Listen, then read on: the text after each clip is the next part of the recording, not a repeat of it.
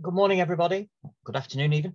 Um, and welcome to this, um, the ASFP webinar on uh, the Building Safety Act for July 2022. Um, we are, um, we'll just wait for, we've, we've just started, we've opened the thing and there's already 75 attendees dialed in. So we'll just give it a moment before we start to let the last few people come on and then we'll be, uh, we'll, we'll go. Okay.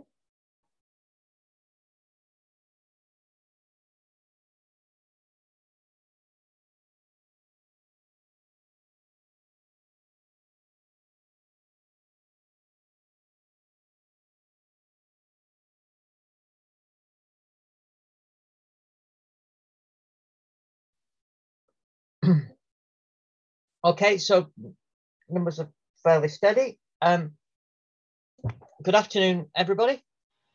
Um, so we've got a, a, webinar today on the Building Safety Act.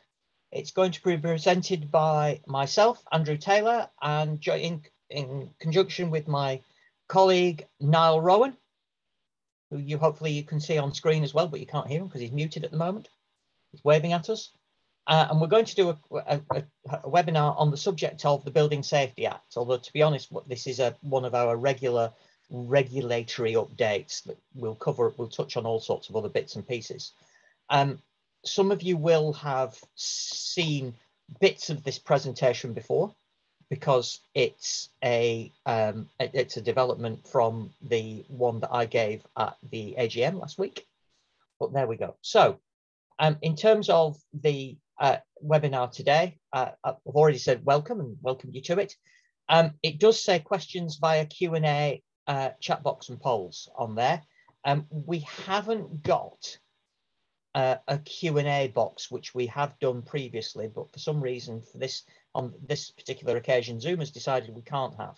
So if you have any questions as we go through, can you put them in the chat box, please? And we will try and get to them as, as we can. And we'll have a bit of Q&A time at the end of the webinar where Niall and I will try and get to any questions that we can see in the chat box. Okay. We've also, as you well know, we use we use the polls function just to to gauge and, and engage with you as the audience while we while we go through this um, webinar. All right. So we'll have a presentation. At the end of it, we hope to have a, some time at as time allows for Q&A and then now I'll, I'll sum up and close at the end of it. And we're going to run this morning for a, an hour and we have got, uh, we're CPD accredited. So um, its uh, email is to info asfp.org.uk if you want a CPD uh, certificate. I will point out to you that we will make this webinar available for people um, uh, by way of a, I'll put it on the internet. We're recording it now. We'll put it on the internet after, after we've finished. If you are watching it live uh, today at 12 o'clock on the 13th of July, we can give you a CPD certificate. If you watch the webinar on Catch Up Television, we can't give you a, C CPD certificate, so please don't ask for one because your, your vote won't be counted and you may still be charged for it. Okay. And so so basically, we're going to talk about about both the Fire Safety Act and the Building Safety Act today. And there's a lot of stuff that we're going to be talking about with the Building Safety Act in terms of the gateways, the new regulators, um, the secondary legislation on construction products. There's a little bit in there about UKCA marking, and that's a, an evolving piece at the moment. Um, I've also put a, a, couple of little slides in about the, just to update you in terms of the EC's review of of European construction products regulations. And then, of course, at the end of it, it, it, wouldn't be one of our webinars if we didn't talk briefly about competence. That will take us hurriedly into the, the Q&A as we go through. And it's at that stage that I'm going to get to poll question one. And hopefully what's going to appear in front of us is, is our first poll question, which is basically, um, what are you interested in? Why are you here? what do you do? We've got 100 people online.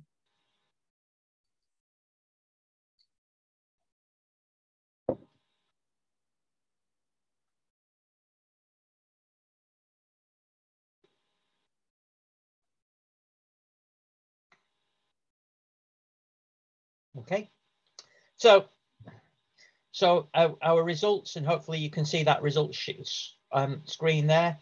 Um, you've got uh, a, a, broad mix of with the, the big ones of architect, designer, manufacturer, and installer, and a few specifiers, inspectors, and fire risk assessors now. So we've got a, a, fairly broad mix that we're talking to today. Um, it's at this point that I'm going to hand over to Niall, and Niall's going to um, going, going to take you through the, the the rest of the of the presentation, and so I will see you at my next bit. Thank you for that, Andy. Um, uh, and thank you for that introduction. We will be passing backwards and forwards, hopefully, hopefully fairly, fairly seamlessly, as is happening now. Um, okay, so Building Safety Bill and the Fire Safety Act, where does all that come back from? And of course, it all comes back from Grenfell and the, the, night, the events of that terrible night about just over five years ago. Uh, Dame Judith Hackitt, pictured top right, uh, it issued a report called Building a Safer Future, which is a review of the building regulatory system in the UK. And as well as looking at the regulations, she started finding out about a lot of entrenched attitudes in the construction industry. And so the, she picked up very rapidly that the race to the bottom that has been the driver for so long has to stop. And the mindset has to be on doing things properly and safely rather than just doing it as cheap as possible. Next slide, please. Unfortunately, she was a bit late to the game because some of us have been speaking about this for many years ago. Back in 2003, the ASFP produced a report funded by uh, DTI, Department of Trade and Industry, and what uh, the Department of Levelling Up communities and housing, whatever they're called this week, um, which was at that time was was uh, Department of Environment, Transport and the region, part funded by them. Uh, so it's a jointly sponsored between industry and the department, uh, and produced a, a, report on recommendations needed to improve design, building control, the culture, etc., and that it needed to be underpinned by legislation. No good saying just do the right thing because just do the right thing, as we saw, didn't happen because that report was issued in 2003. And the conclusion of it, thank you, is uh, in that either conclusion or a quote from the report is there public safety is being impinged by incorrect passive fire protection measures and we feel that disaster caused by accelerated or unexpected fire spread could follow if no action is taken to improve initial standards and define the responsibility of building occupiers. So you can see it, it, it, it, it knew what something was going to happen and it had that kind of background to it. The report was drafted by an ex-ASFP uh, chairman uh, and he was deeply upset when Grenfell happened because he said, we told them this and they just did nothing. Anyway, enough of I told you so. Moving on, a lot has happened in the last five years. I know it feels like to some extent nothing's happened, but a lot has happened. We've had some new legislation. We've got the Fire Safety Act, that's issued by the Home Office, and that reinforces the regulatory reform fire safety order. That's the one where you have to do a fire risk assessment on your building if you run a business. Also, just out are the Fire Safety England Regulations 2022. And what they do is give legal backing to the recommendations for the Grenfell Tower inquiry phase one. Phase one was about a year ago completed. It was things like uh, uh, flat front doors and various other bits and pieces and, and fire safety measures that need to be. And this gives legal backing to them, where Sir Martin Moore-Bick said, I want this to be a change in the law, and that's what's happened. And of course, the main event is the Building Safety Act, which has recently passed, uh, recently has received royal assent, and that is enabling legislation. It's not the final answer. It's enabling legislation that gives the Secretary of State powers to do lots of things in the, in the hope of implementing all of the 53 Hackitt recommendations from Build a Safer Future. So there's a new regulatory regime for high risk buildings, lots more inspection. There's a new regulator, the HSE, and there'll be greater scrutiny of construction products. We'll come on to more of that later and to promote the confidence of those working in all buildings, not just high risk buildings. Next slide, please. So again, there's a bit more detail. The Fire Safety Act passed into law a year ago, and that did, the essential thing it did was bring external walls and flat front doors into the scope of a fire risk assessment carried out under the order. Originally, most fire risk assessors did front doors if they could. They didn't do external walls because they were not common part, which is the part that's used. Uh, so you bring flat front doors and walls into the scope of the assessment. Great idea, but there were some problems. First of all, um, it wasn't welcome originally because it we realised that it was probably going to give quite large bills for leaseholders when they realised that their, their cladding needed to be changed. And then that came up, ended up with the whole who pays argument. And the bigger issue is there was and still is a problem of adequately trained and competent fire risk assessors who are capable of externing, capable of assessing external walls. They could do the doors, so that's the easy bit. You can't do the external walls. Um, and so because, partly because of that, where there's external wall is deemed to be an issue, like it's not two layers of brickwork or something, or concrete or something like that. They, you know, we, we had the publication of PAS, publicly available specification 9980, which is a fire risk appraisal of external walls. Quite a complicated document, quite long, bit hard going, but it has a five step process. And that allows you to assess whether this wall, which this external wall, which may not be non-combustible construction, whether it's suitable or not. Also problems with the Fire Safety Act is an ongoing one since 2005. There's a competency requirement for fire risk assessors they've been developed in working group four, that's industry responsible working group four, but they're not being implemented. Still, anybody can be a fire risk assessor. There's no requirement to be certificated or on any of the registers. The Fire Safety Act will be implemented alongside the Building Act on one other thing that's come out is something called the Fire Risk Assessment Prioritization Tool. And that is for uh, local authorities and, or, and housing associations and anyone who has a series of external walls that need assessing to be able to work out the priority of, of assessing them, which ones need doing first and which ones don't need doing first. It's not a replacement for PAS 9980, but it, it also might indicate that you don't need to use 9980. Next slide, please. So moving on, um, we move on to um, the, uh, the, the government determined to move on on three topics. this came out in, in January of this year. Uh, and that was the first one is the construction industry needs to pay to fix the problems, fairly obvious. Developers must pay.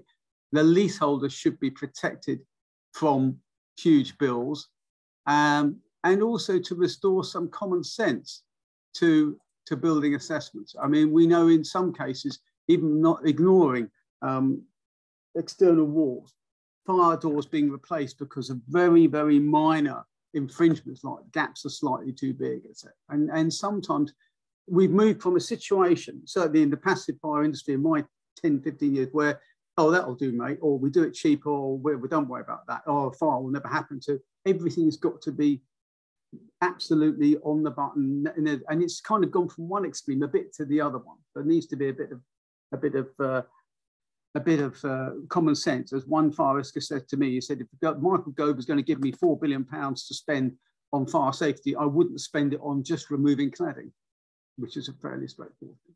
Okay. Um, now, it comes from a policy announced by, by former Secretary of State Michael Gove, so I'm just sort of cross him out, but we don't know who it's going to be now. What we do is it's Greg Clark. Uh, so that's great. So move on to the next slide, please. But unfortunately, all that deals with is what is above, above the waterline. The industry who caused the crisis will now pay to fix it instead of innocent leaseholders. Great stuff. So we've looked at cladding remediation. Um, buildings above 18 meters, they're going to be paid for by the Building Safety Fund and the public purse are going to do that. Buildings of 11 to 18 meters, the government was looking to developers and construction product manufacturers to fund this. Now, the developers signed up a package, but the, the uh, construction product manufacturers, they didn't quite get there. So they're still waiting on that. But more to the point, um, the Defective Premises Act will, will, is being extended. The liability period is being extended to 30 years. So there's a whole load of stuff below the waterline of other safety defects, including things like fire stopping and other matters, that still still be liability. So that is going to be very interesting time for the industry. Next slide, please. So as I say, the large developers are signed up to pay. The discussions with the construction products manufacturer, manufacturers between in the form of the CPA, the Construction Products Association, they failed on the basis of it was kind of give us some money. And we said, well, how many buildings do we need? Well, we don't know, but give us some money. I paraphrase that rather, rather crudely, but there was a kind of blank check demand. And the industry said, well, when you, when you do that, when you know, we, we'll do it. There, there was definitely a move towards supporting that. The developers was a bit different because they knew which buildings they developed. So it was much easier to say, okay, we'll put aside this much. Uh, the remediation on historical alternative issues, I covered, I covered that earlier. Next slide, please. So housing secretaries come and housing secretaries go. Uh, and the picture on the left is uh, the famous Eric Pickles, a pictured inside at the Grenfell Tower inquiry, characteristic pose. Um, after Michael Gove, we have Greg Clark. Uh, for how long? I don't know. If we have a new prime minister, when we have a new prime minister in September, they might approve a new government. Um, so their drive and their vision is going to control, speed up, or, or whatever. Um, the current political situation called delay, and also economy versus safety. Um, the, the PEEPs, personal emergency evacuation plans, were removed from the, the be required, and that caused a great outcry. And then some people say, well, it's not practical or realistic you know, it's not our place, our place to argue there, and you can argue it one way or the other. But you know, what's going to happen there, we just don't know till the political situation. Having said that, the basic framework, the Building Safety Bill, Basic Safety Act, Fire Safety Act are there. There's a momentum behind it now that's spent five years growing. It's not going to stop now. It's not. We're not going to get a new a new prime minister says, well, we're not going to do any of that now. It's just not. It's going to happen. I suspect it will. Michael Gove was actually, I think, quite positive and that, in that respect making it go. Okay, uh, next slide, please. So Building Safety Act, Royal Assent uh, in, in, in April, published in May, enabling legislation. The Building Safety Manager, he or she, has been removed. There were three statutory roles, principal designer, principal contractor, and building safety manager. The building safety manager was removed presumably on the basis that um, very keen building safety managers, in order to reduce liability, would specify, over-specify fire safety measures. Again, that's a semi sort of political economic argument. Uh, but we were surprised at that, uh, that because you were implementing all of 53 of Hackitt's recommendations, except maybe the ones you don't agree with. So there we are. Uh, next slide, please. Uh, so uh, we've now got this regulatory framework. There's a nice, nice diagram there. And um, uh, you work, obviously start on the left and work to the right. So we're now at the second box in, bill that has received royal assent. So this, that creates the legal powers to make or propose regulation. And there'll be formal consultation and draft regulation and so on. Um, Radio says regulations laid in Parliament near the bottom, that will be secondary legislation, which is now coming. And then there'll be a transition period in time for industry, not just industry, but regulators and others to prepare for new regulatory requirements. And then they'll come into force. So you'll notice on that diagram, there is no, it's a timeline without any time on it. And if you look at the next slide, you will see a timeline. That's rather spotty slide. And, and again, you will be able to see the, this is publicly available, this slide. You can get this. I, I don't, I, you know, it's, it's not something we've developed that you can't get. So where we are now is we're at Royal Assent on the left.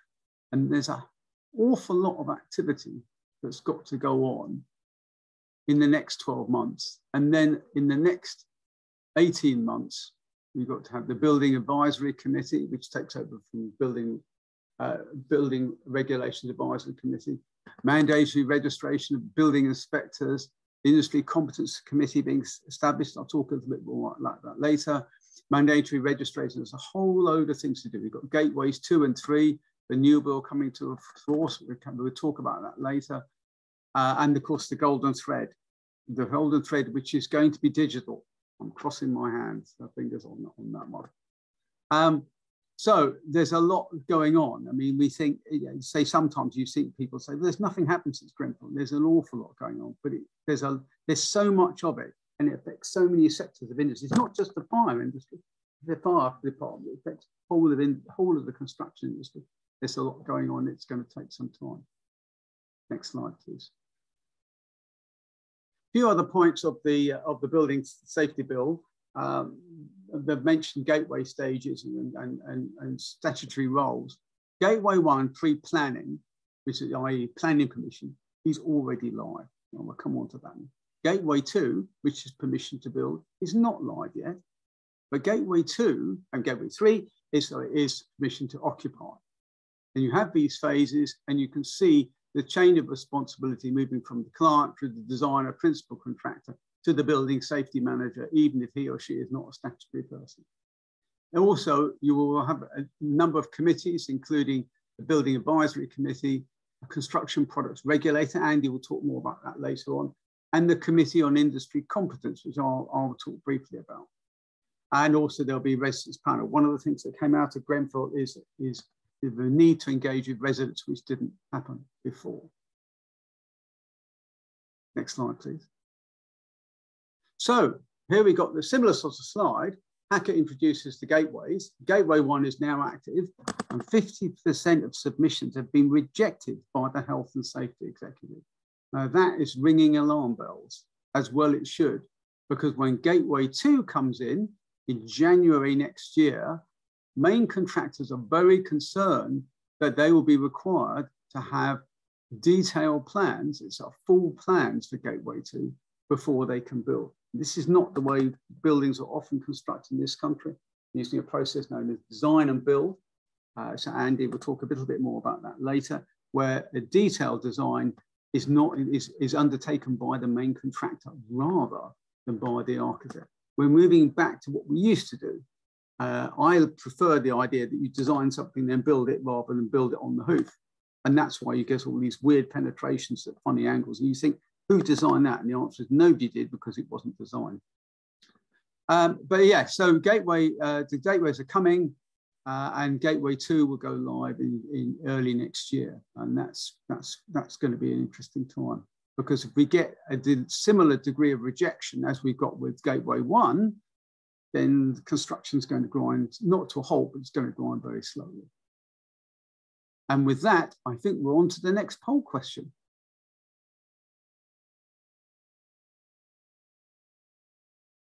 And after that, I will hand over to Andy. So here we are. So here we are talking about design and build. Uh, do you think design and build can carry on? It's one choice. And know, no, because Gateway 2 demands full plans, which effectively thwarts it. We need flexibility so to admit detailed plans as we go through the process. Yes, otherwise it will lead to excessive costs for leaseholders, building owners, etc. So this is more of an opinion rather than whether it's going to happen or not. So just see what you like and see where we go with that.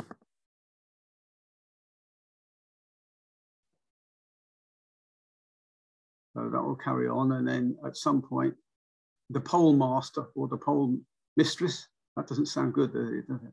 We'll, uh, we'll cease the poll and we'll get the results. And you've got nearly 39% no because Gateway 2, we need flexibility, slightly more, and yes, otherwise it will lead to excessive costs. So, so a slight preference for this, a bit of the status quo, but some realization that we need to change. Okay, and with that, uh, in this next section of the webinar, uh, Andrew will take over. Over to you, Andy. That, that, that answer is really interesting, if only because, I mean, the 17% that says it's going to lead to excessive costs for leaseholders and, and government says government says it wants to protect leaseholders from excessive costs, but at the yeah. same same time it wants all these these this certainty and this stability, and it's how do we present prevent that from leading to all this certainty and stability and risk aversion that's come with it to to to not end up with excessive costs for leaseholders. Right. Okay. I'm going to I'll counter quickly through the next bit. It's 25 past and we're about just under halfway through.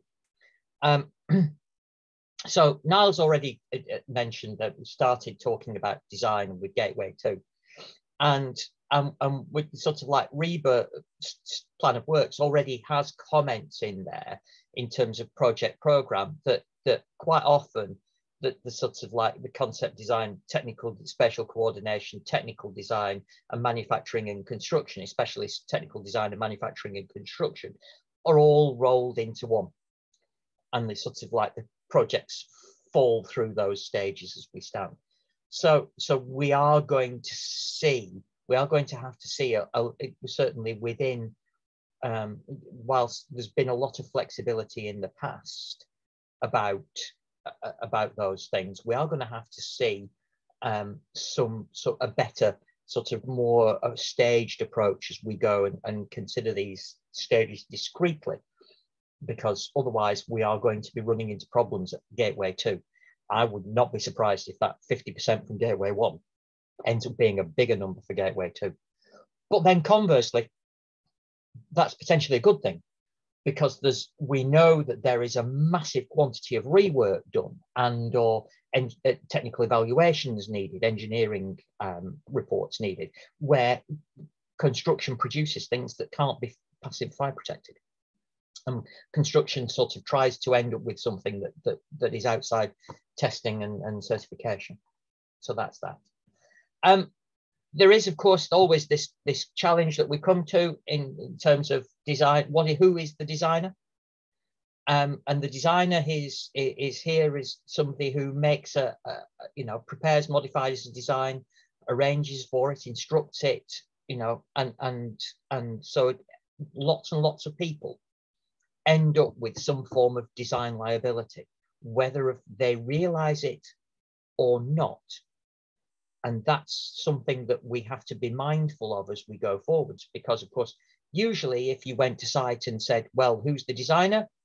That's the response you get. It's somebody over, it's him or a, so, so who is the designer?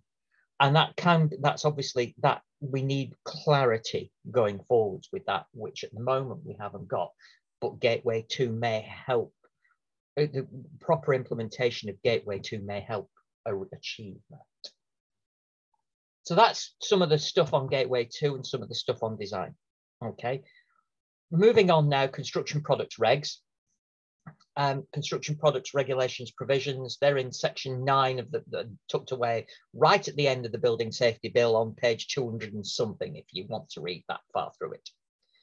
And, and of course, what we what happens is that sec the Secretary of State is given lots of powers to make regulations.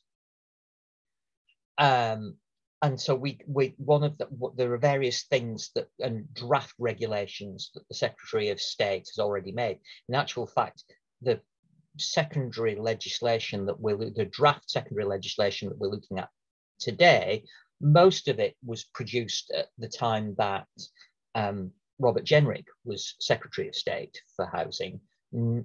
Predates predates Gove, and its implementation will come thereafter, probably in the the tenure of the next fella or lady after um, after we get through September's general uh, sorry September's leadership election and or the subsequent reallocation of cabinet roles. Um, but there you go. So for key things, first and foremost, is that the regulations will be underpinned by a general duty of safety. Okay, and that's a that's a, an extension of a piece of consumer law going forwards. The second, the other secondary legislation, the secondary legislation on um, safe on uh, safety critical products.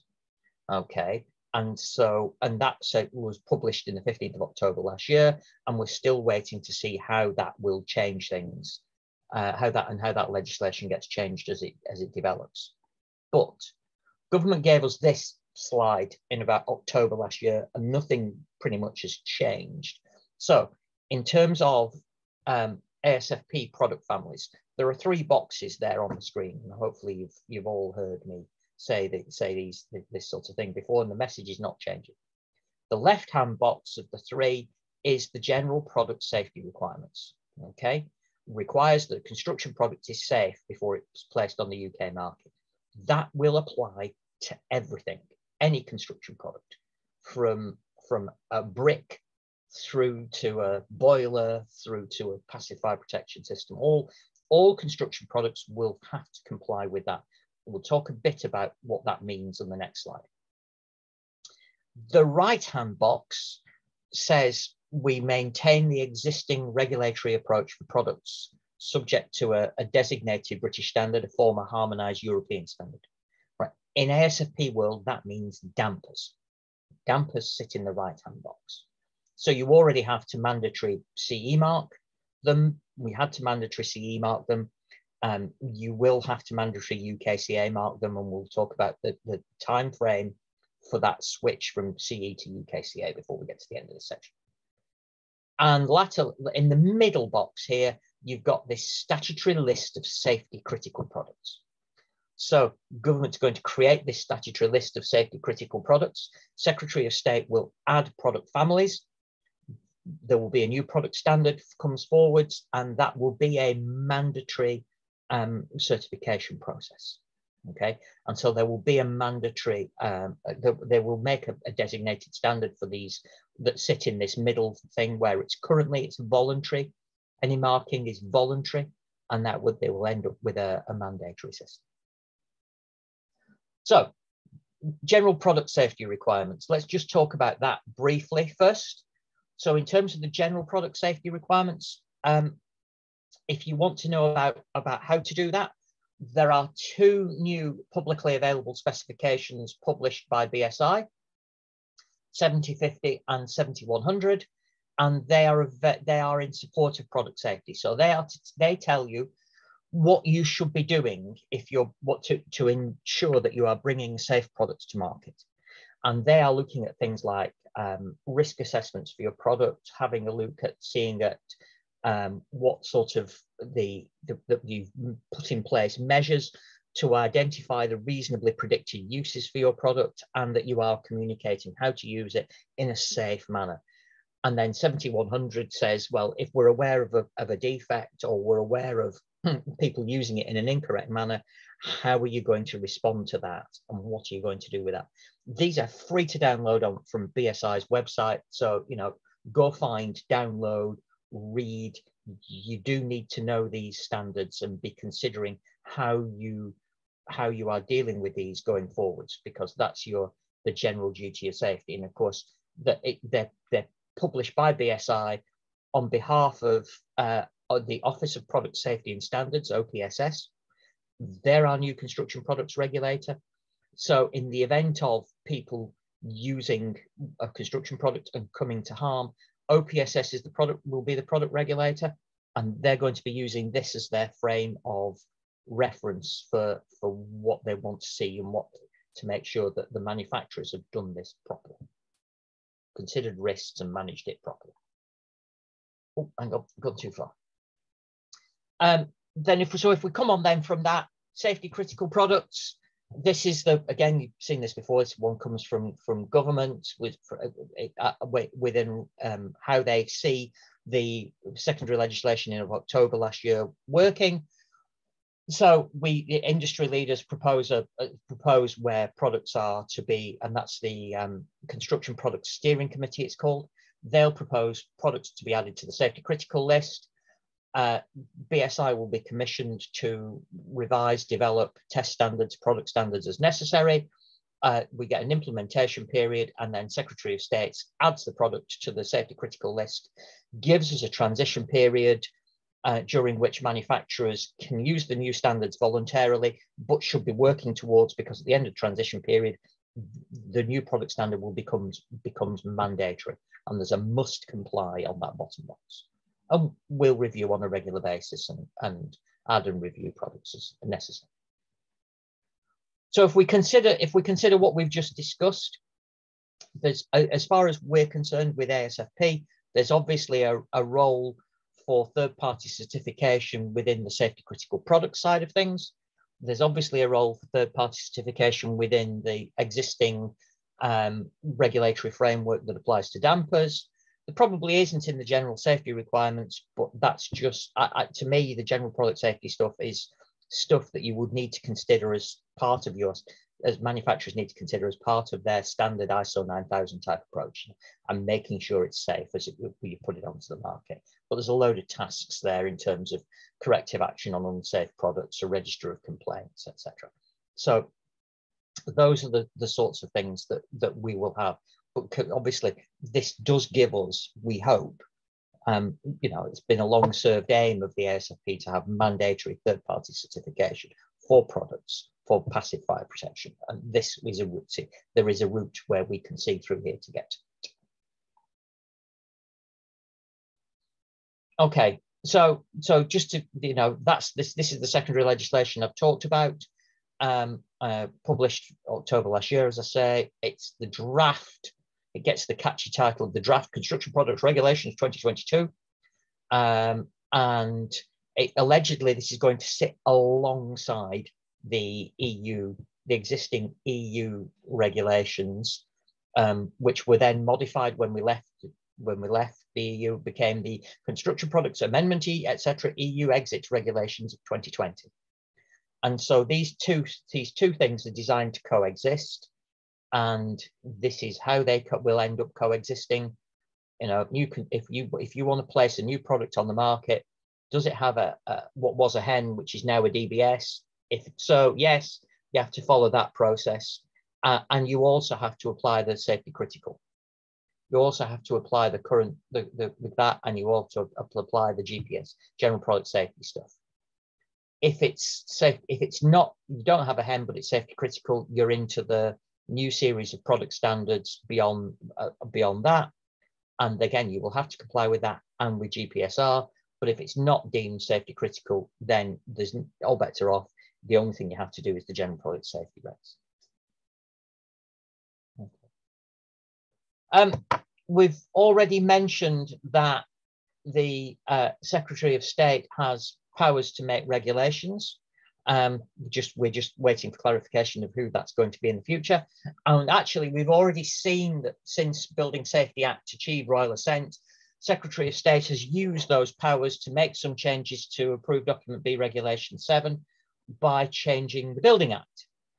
Um, he's defined there are there's been thing to define new restrictions for uh, metal composite materials for buildings of uh, for use in external walls for buildings of any height okay uh, no substantial material allowed above 35 megajoules per, per uh, uh, 35 megajoules per kilo uh, using the old bomb calorimeter test uh, definition of substantial as one millimeter thick or one kilo per square meter. And that is, it was laid uh, and made before Parliament on in June, and that will go live in December 22. So on the 1st of December, that pretty much kills most of the of the polyethylene core um, metal composite materials on the outside of buildings of any height. Okay, of any height. So that's already that's already gone through, and the Secretary of State was able to make that regulation and pass it through Parliament very, very simply because of the powers given to him by Building Safety Act.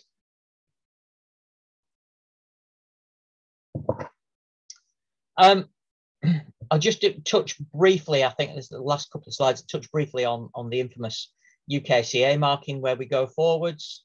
Um, so as we've said, now for UKCA marking, we, where we had a hEN dampers, we can use the same standard um, as our designated British standard, and damper manufacturers can go straight to UKCA using all that existing data. Where we used to use the EOTA route, and it was we did the voluntary CE marks, then UK um, assessment, uh, technical approval bodies, no, technical assessment bodies, I'll get that right. UK technical assessment bodies can make UK technical assessments. The, the, the um, European assessment documents that were uh, uh, current at the time of exit have been listed on the government website. So there they, and we can use those now. Okay. Now, UK government has said that CE marking will not be accepted in the UK, in Great Britain, after the end of this year. And I say Great Britain because Northern Ireland has a whole different series of provisions. Um, I, give you a note of caution that this uh, is not yet underpinned by regulation. Um, we were told no extension beyond this date, and that was repeated yesterday. Um, so on a webinar, that 2021 will not be repeated to beyond 2022. Okay, um, the, so so that's that's where we are. Um, we're waiting for the standalone piece of secondary legislation that's needed, but that still hasn't started. And I do wonder whether um, whether that piece of legislation will go through or where we'll end up, because of course, with the issues regarding um, Secretary of State being changed, etc. So we, we keep an eye on that, um, but, that, that's let we go. Um, it can happen because Building Safety Act has royal assent, uh, and it's the, the but again the legislation will be outside the draft CPR 2022 because government said they wanted to do it separately. Um, some industry sectors are now stay, saying that they still won't be ready for the end of 2022. And the last meeting we had on this topic, government said that with, in one forum, government said, well, we're considering it and we'll think about it. But yesterday we were on a, a webinar with um, with DLUC and with BEIS, and they said, no, no more extensions. You've had enough time. It will be the end of 2022. Uh, finally, I'll just I'll just point out one slide on this because this is really very complicated, um, and of course it's it, it, it, to a most point now it, it's irrelevant. Um, the European Commission has finally come up with a new draft version of its construction products regulation. It's only taken them about five. This review of, of it has only taken about five six years. That text is out for consultation, um, and I think that consultation period actually ended last week the draft text that was out there um, is really complex, but it does keep roles for CEN and EOTA, although it is will be possible for the Commission to go directly over their heads with a series of delegated acts.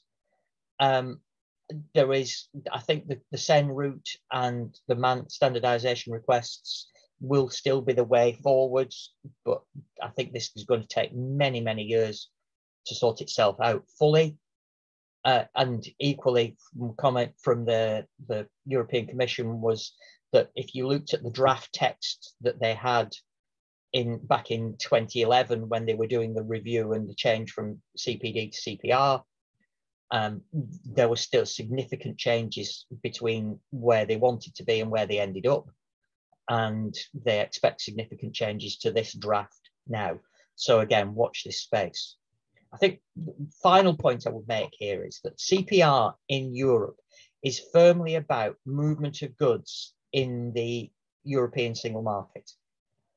Um, UK government, but of course the stuff we're talking about in the in the in the UK is all about safety, and that's a there's a really subtle difference there because we've been talking more about product safety and building safety and using testing and, and an approval and assessments and whatever as a way of proving product suitability to make safe buildings. Whereas in Europe, it's about making sure that products can move safely from market to market. Um, the other thing we did ask um, BEIS and DLUC yesterday, will they be adopting the European changes to construction products regulation going forward? And they said, no, they won't necessarily have to they will decide on a case by case basis whether they're going to adopt the changes going forwards. And so I wouldn't necessarily imagine that they will be doing that. Um, I've, I'm, you no doubt many or all of you will have seen me talk about the fact that government committed to reviewing product tests for construction products in summer 21. Uh, that review took place.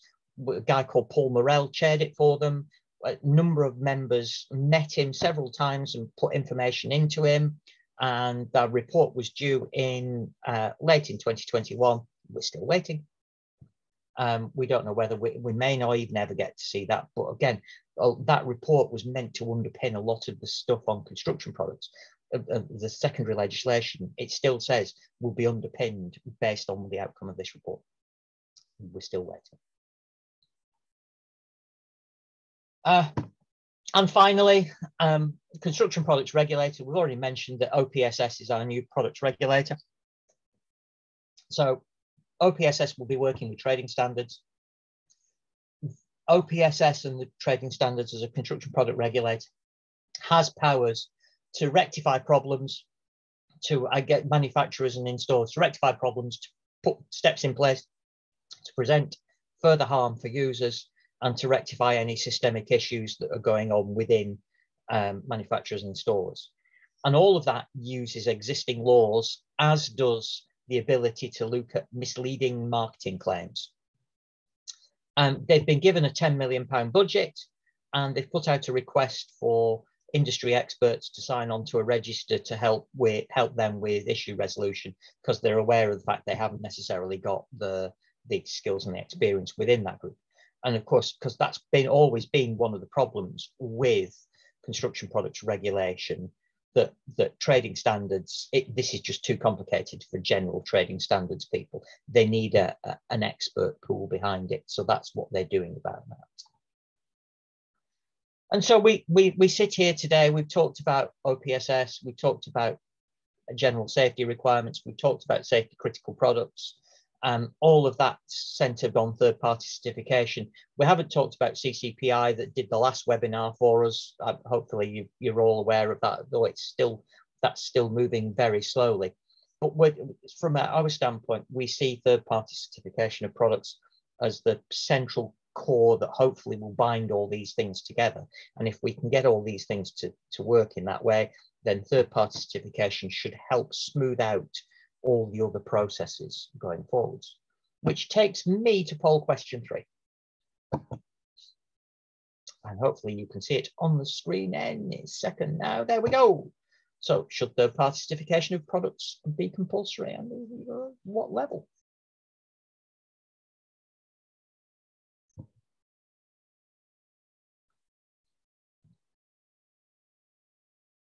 The good news is they all say yes. Oh no, there's some no's coming in. I spoke too soon.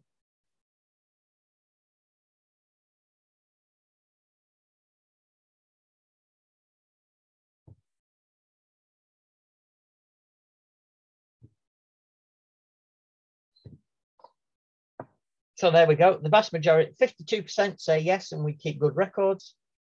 43% thinking that yes, although we could do it better. And four think this is the first time they've heard of third-party certification of products.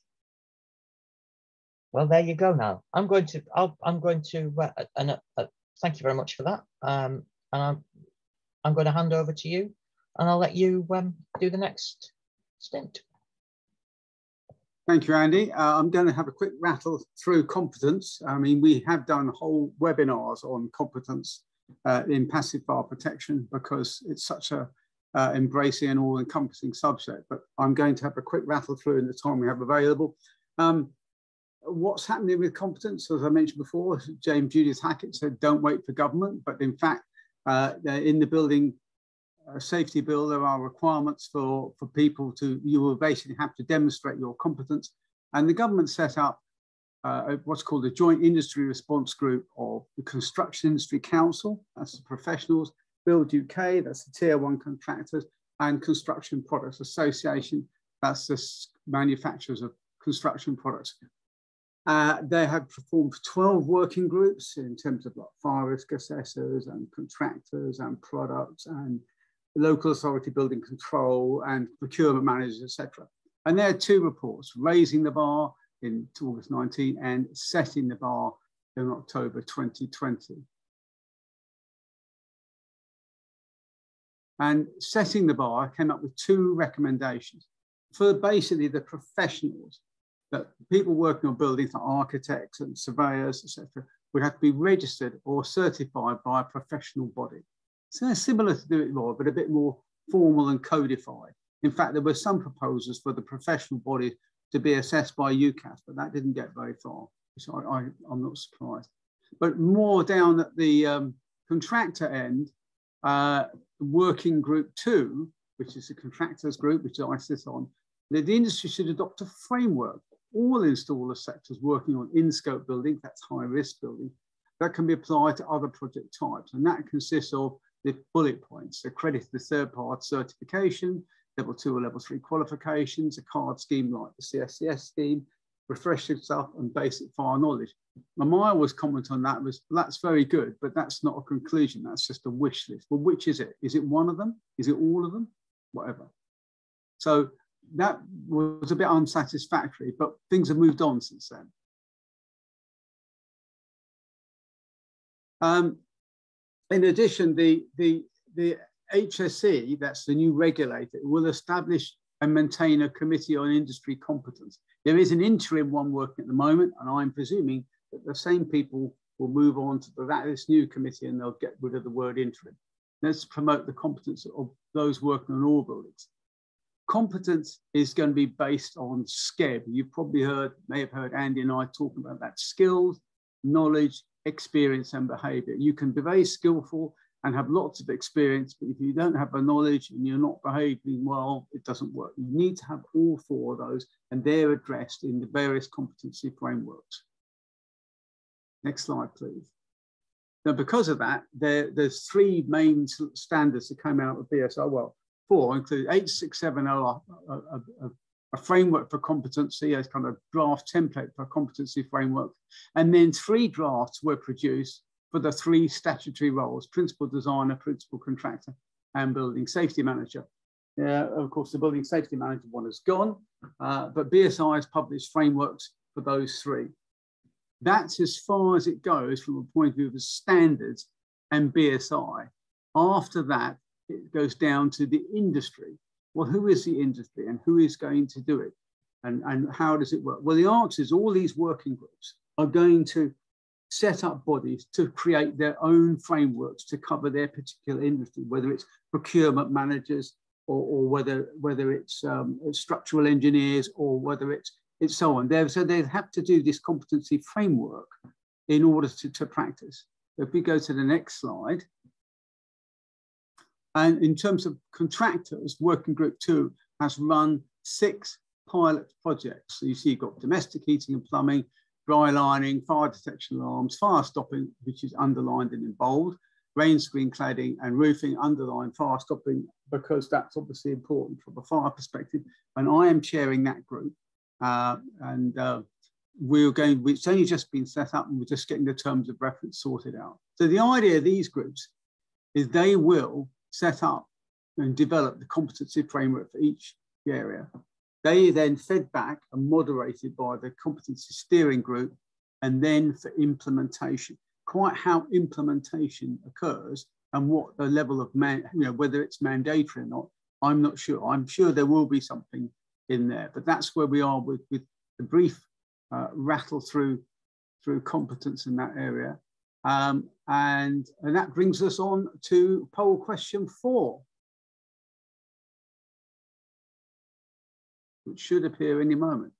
So I'm, in that very brief, brief uh, run through of competence, I'm, I'm, sure you probably haven't had time to simulate it all. But how do you think you understand what you need to do to be competent? Uh, don't be afraid if you if you answer the first one, which is, you know, I don't even know that I'm that, that I haven't addressed competence probably. How hard can it be? Or I need to do more, or I know what I need to do, or nobody can teach me anything. There are four stages on how you learn to do something. You start off with you know, the first bit where Jeremy Clarkson on Top Gear says, how hard can it be? And that means he hasn't a clue. Uh, and then you realize, blimey, I need to know a bit more about this and so on. So it's interesting to get, we've never asked this question before, so we'll, we'd like to see what we come up with. And hopefully we'll get the answer soon. I think we're, we're, we're there you go. So there's there, there is one asking how hard can it be, the, the Clarkson question, as we would put them. Um, well done, brave, brave person. Absolutely, absolutely. Um, oh, that's interesting. Sixty-six percent. Now, I thought the bias would be more. I thought it would be the second. incompetent. I thought that would be the second. I thought that would be the second one. I, I know. I'm more. That's very interesting. Yes. It, and on that note, I it, pass over to Andy. really interesting to see how, how which sectors those answers came from. We can't because it's all anonymous. Um, but it would be really interesting to see what how, if there's a sectorial breakdown to how that that works. Right. Okay, I'm going to last couple of three slides, and we're nearly there. Um, because I'm just doing a, a wrap up. We started the, the webinar with a, a Dame Judith Hackitt quote um, from Build a Safer Future that says you need to do, we need to do it, we need to do it better, we need to get better at it. And we're going to end with uh, a Dame Judith quote. So, and for those of you that haven't already, there is a um, health and safety executive, the new building safety regulator publishes a monthly update. And with one of the contributors to that HSE monthly update is Dame Judith, and this is taken from her June piece to the nation. Um, and, and, you know, basically, say, concerns that half the proposals at Gateway 1 are, are having problems is a sad indictment of the fact that industry hasn't yet moved forwards. And we need to we need to change. We need to get better at doing what we're doing. And um, so that's that's that's that you know there is things to we do so you know let's let's look and see how this how this thing goes forwards. Okay? Um and you know the time for change is now. And as she's often said don't wait for regulation. You know this a lot of this is coming so let's do the right thing and do the right thing now because we know what that's that's going to be. And so here we are. We've talked a lot about the Building Safety Act. Um, this was put, a lot of this was put together last week in advance of um, the, the AGM when my Lord Greenhalgh decided he was going to wait until Boris had resigned before he resigned. Um, but uh, this is this is where we are. You know, there's going to be significant changes in terms of approved design, how things are designed, how things are approved, going forwards. There's going to have to be some changes to construct uh, design, how design and construction fits into the into the into the contractual process going forwards. There's going to be some significant changes to product regulations, and also, and hope hopefully that will bring about third party certification, and of course significant changes to how we all demonstrate competence. Uh, uh, but a lot of this depends on how we know, how we're going to get there, and and you know what the that the government, what the government's going to do and try and get through to this. Obviously, there's there's a lot that's been done in backplay, but it hasn't made big differences yet because the secondary legislation's not come into force. And then we haven't had the transition periods. So there's, there's we could be quite a way away from getting through to getting through all these changes. So it's a big old oil tank we're trying to turn around here. Um, but that's where we get to. And that takes us to the to the questions and answers. So we've got a few questions and answers, Niall. Um, he says, um, so are you, are you ready for this? You're muted. I thought I pressed the unmute button, but I hadn't. Okay. Uh, so a couple of quick ones, really. Uh, first one, what are the requirements of a leaseholder who wishes to replace a flat front door, assuming the door opens common layer, either obliged to a fire door set, is should it be third party certificated or should it be third party certificated installer? Or what powers does the RP have under the RRO? Uh, so the first question point is, if you're planning to replace a flat front door, you need to ask a leaseholder first. You may or may not have permission to do that. So you need to get that, that sorted. Um, is it, does it oblige, does it have to be a fire door set to be in BSEN 4, BSEN, BS 476 part 22 or the relevant European standard. It just has to be fire resisting. That's the answer. But it's a good idea if it's a door set that's been tested to be BS476. And normally that's how you determine fire resistance, but whether it's actually a door set, and that's the whole subject of the webinar, is, an, is another matter. Installation by a third party, accredited door installer, yes, a great idea, but it's not mandatory. What powers does the responsible person have to ensure compliance with the FSO it's not so much powers as they are the duty bound to respond to the FSO. They have to take a fire risk assessment which is suitable and sufficient. And if the fire risk assessment says you need to do stuff, then you need to do it. I'm, I'm, I'm really going quickly because we're, we're, we're out of time. Uh, so you know you can't you can't ignore that. So if you have to do that, but first thing is get the question done. Uh, next question I'm going to throw to you, Andy. okay. Is... An indication of when the, the list of safety critical products will be publicly available. Um, no, we don't. I mean, the, the way that the, the, the slide says that the system will work is that the, the legislation will have to come into existence. The Secretary of State will set up the, and, and run this construction product steering committee. They'll make recommendations, and and, and the, the implication on the on the on the on the wheel of misfortune that we saw on that slide was in actual fact uh, a product won't hit that safety critical list until the product standard exists. Um, so there's there's you know it's got to go through four hurdles before it gets onto the list. But obviously, it, it, you know BSI would have to be drafting a product standard for something that's going to go onto the list. So so I would have thought we would it will be about um, 12 18 months before we we can we know precisely that we you know we get the secondary legislation comes into force and at that stage we have the conversations with government about what's on the, the, the safety critical list. I know when i've had conversations with people from um, DLUC that that that when i turn around to them and say passive fire protect all passive fire protection systems should be on the safety critical list i've yet to have one of them suck through their teeth and go oh i don't know about that um, you know, it, it, seems logical that to me that all our product families are will end up on the safety critical list.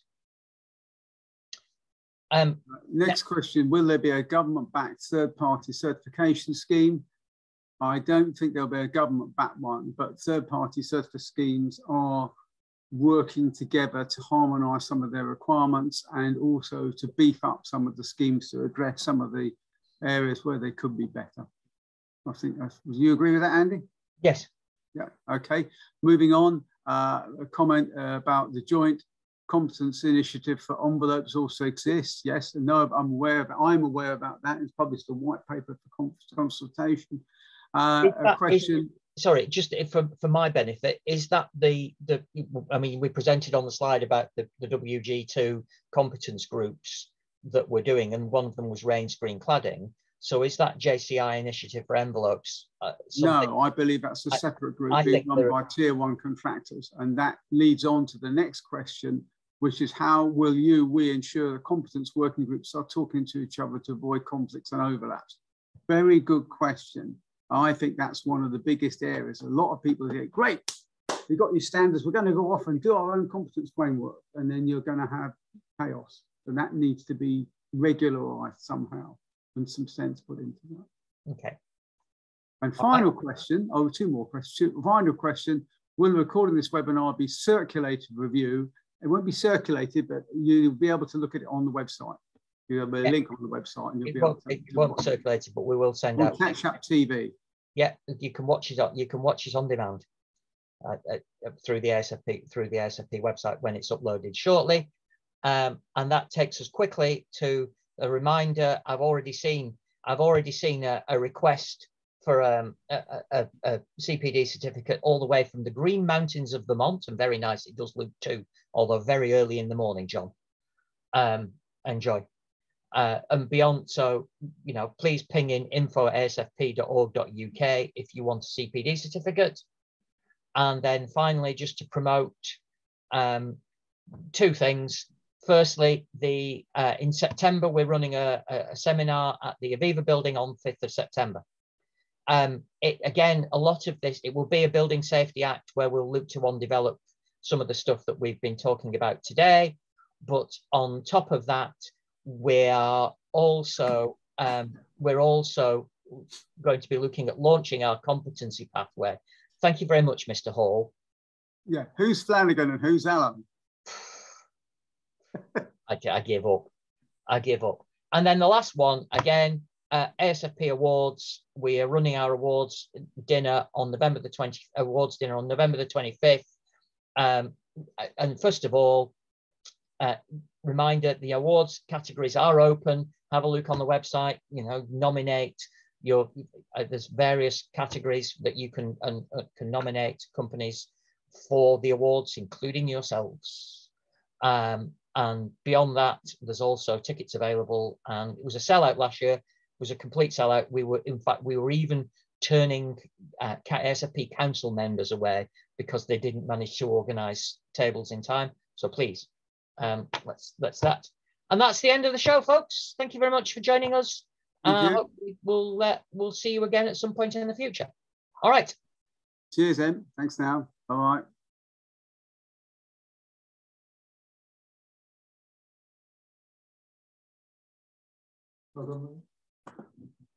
Good. So when you've got to do a whole one on your own, it's a bit more tricky. Yes. Uh, considering we was, I was modifying the presentation 10 minutes. Still on. Oops, I thought I had.